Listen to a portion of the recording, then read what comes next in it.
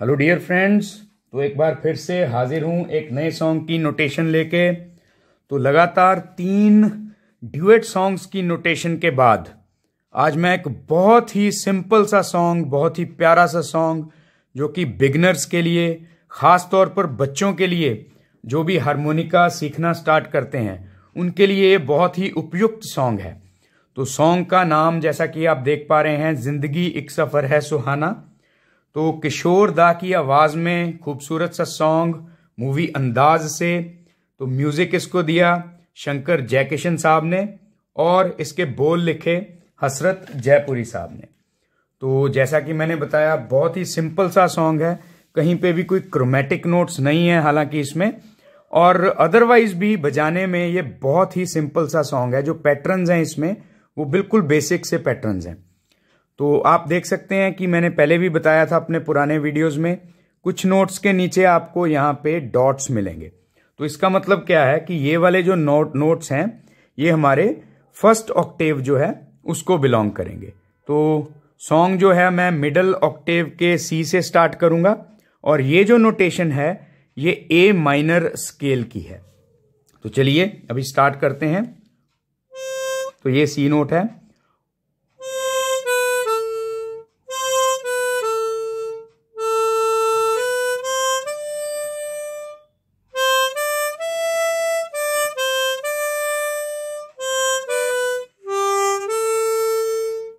ए note पे ये and हो रहा है तो ए माइनर स्केल है इसका।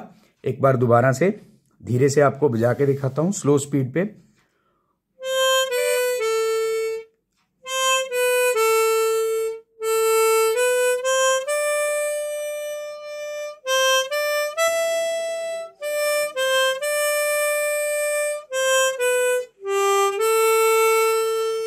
तो आपने देखा कि कितना सिंपल है इस सॉन्ग को बजाना। बहुत ही मेलोडियस सा थोड़ा फास्ट स्पीड वाला सॉन्ग है। तो ये इसका पहला स्टेंजा जो था, मुखड़ा पार्ट वो मैंने बजा के दिखाइया दिखा दिया आपको। अभी हम बढ़ते हैं इसके अंतरा पार्ट की तरफ़। तो फ्रेंड्स जैसा कि आप देख पा रहे हैं, ये है नोटेशन अंतरा पार्ट की। और आप देखिए कितना सिंपल है इसका अंतरा पार्ट जो पहली दो लाइंस हैं, वो हूबहू सेम है। और जो अगली दो लाइंस हैं तो वो जो हमने इससे पहले वाला जो स्टेंजा किया था तो उसकी दो लाइंस का रिपीट है वो। तो बहुत ही सिंपल मैंने इसीलिए बताया था, आपको सॉन्ग है। और एक चीज़ मैं यहाँ पे शेयर करना चाहूँगा कि जब भी मैं कोई नोटेशन डालता हूँ तो वो नोटेशन जो है, क्योंकि मेरे जो सब्सक्राइबर्स हैं, उनमें बिल्कुल एब्सोल्यूट बिगनर्स भी हैं, उनमें इंटरमीडिएट प्लेयर्स भी हैं। तो जो सॉन्ग्स बजाते हैं, अच्छे सॉन्ग्स वो भी मेरे सब्सक्राइबर्स हैं। तो कई बार मुझे कमेंट्स आते हैं कि आप इतने सिंपल सॉन्ग की नोटेशन क्यों देते हैं? थोड़ा सा कॉम्प्लिकेटेड सॉन्ग की नोटेशन दें। तो फ्रैंकली मेरा पर्पज़ ये होता है कि जो बिगनर्स हैं, कम से कम उनको मैं इजी नोटेशंस दे सकूँ। तो एक तो ये पर्पज़ है। तो कोशिश मैंने की थी, जो ड्यूएट सॉन्ग डाले हैं, वो थोड़े से इंटरमीडिएट लेवल के थे, जैसे रात के हम सफ़र। तो मैं सिंपल सॉन्ग्स की नोटेशन जो है तो वो जो एब्सोल्यूट बिगनर्स हैं, उनको मेरे ख्याल से बहुत हेल्प कर सकती है। तो अभी इसी हिसाब से मैंने ये सॉन्ग जो है, ये पिक किया खास तौर पे बिगनर्स और बच्चों के लिए। तो अभी देखिए कितना सिंपल है इसका अंतरा।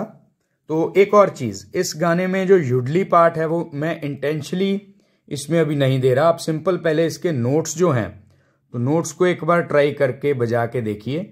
तो युडली पार्ट जो है, वो सिंपल है। उसकी नोटेशन मैं आपको फिर कभी यहाँ पे प्रोवाइड कर दूँगा। अभी इसमें मैंने युडली पार्ट की नोटेशन नहीं दी है। तो जो बिगनर्स हैं, वो simple note to note song का मुखड़ा और अंतरा बजाएँ।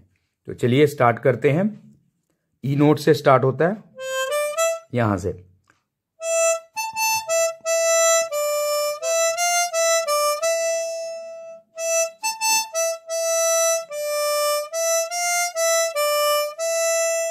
तो हालाँकि इसमें स्लाइडर नहीं है बट फिर भी हम जो ई e और एफ़ का नोट का जो है यहाँ पे एक कॉम्बिनेशन ई एफ़ नोट का कॉम्बिनेशन तो यहाँ पे हम स्लाइडर पे अगर चाहें तो एक हल्की सी यहाँ पे मुर्की दे सकते हैं।